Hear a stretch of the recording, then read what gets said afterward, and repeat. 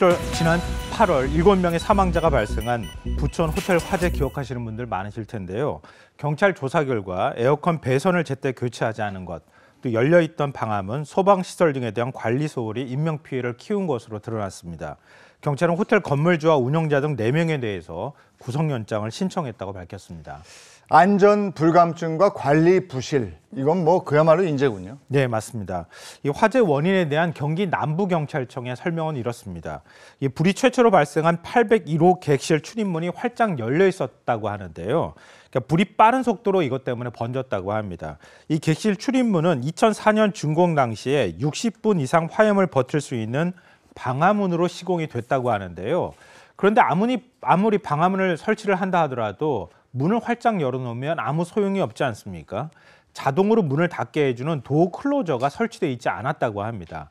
이 설계 도면과 사용 승인 때는 있었지만 실제로는 설치돼 있지 않았었던 거였습니다.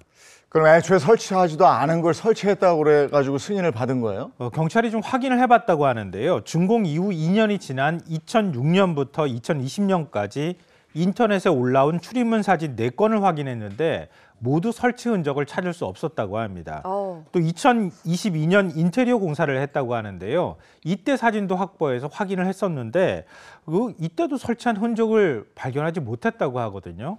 그러니까 결론적으로 말하면 애초부터 설치를 하지 않았다 이렇게 봐, 봐야 될 수밖에 없을 것 같습니다. 네. 근데 만약에 도어 클로저가 설치가 되어 있었다면 이렇게 많은 사상자가 발생하지 않았을 것 같은데요. 네, 경찰은 객실 방화문이 만약에 닫혀 있었다면 불이 5분 30초 만에 꺼졌을 거라고 보고 있는데요.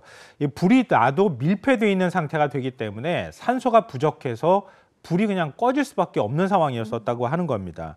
문제는 현재 규정상은 방화문은 닫혀 있어야 한다라는 내용은 있지만 도어 클로저를 반드시 설치해야 한다라고 하는 의무 규정은 없다고 합니다. 그러니까 방화문은 있지만 도어 클로저가 없다면 문이 자동으로 닫히지 않는 상황이 벌어질 수 있다고 하는 겁니다. 그래서 이번 화재를 계기로 경찰은 관련 부처에 door closer 설치를 의무화해달라 건의를 할 방침이라고 밝혔습니다. 이때 또 직원들의 안전 불감증도 드러났다고 그러는데 호텔 매니저가 화재 경보를 무시했다면서요? 어. 네. 그러니까 만약에 보통 이제 화재가 나면 화재 경보기가 작동하지 않는 게 일단 제일 큰 문제잖아요. 네. 이 호텔 같은 경우에는 화재 직후에 화재 경보기가 작동했다고 합니다. 그런데 호텔 매니저가 화재 경보기를 껐다고 하는데요. 끄고 난 다음에 본인이 직접 불이 났는지 확인하러 갔다고 합니다. 음. 그러니까 호텔 7층으로 올라가서 불이 난 801호 객실을 확인해 봤더니 불이 나니까 다시 1층으로 내려와서 화재 경보기를 작동시켰다고 합니다. 그럼 이게 화재 경보기가 있어야 할 의미가 없는, 네. 거잖아요. 어, 그렇죠. 이러는 동안에 2분 40, 24초라고 하는 소중한 시간이 그냥 흘러버렸다고 하는데요. 당연히 투숙객들의 대피가 늦어질 수밖에 없었죠. 경찰은 초기 화재 경보기를 끄지 않았다면 사망자가 발생한 객실 세 곳의 투숙객 다섯 명은 대피할 수 있었다고 보고 있습니다. 게다가 호텔 운영자는 소방 계획서를 부실하게 작성하고 종업원 소방 교육도 실시하지 않은 것으로 드러나기도 했습니다. 어쩜 이런 일이 생길 때마다 이렇게 반복이 되는지 모르겠습니다. 네. 다시 한번 점검하고 또 점검해 주시기 바랍니다.